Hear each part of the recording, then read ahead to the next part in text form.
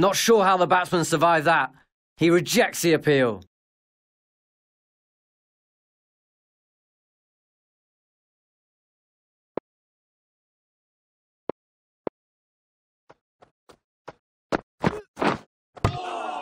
Bold, beaten all ends up.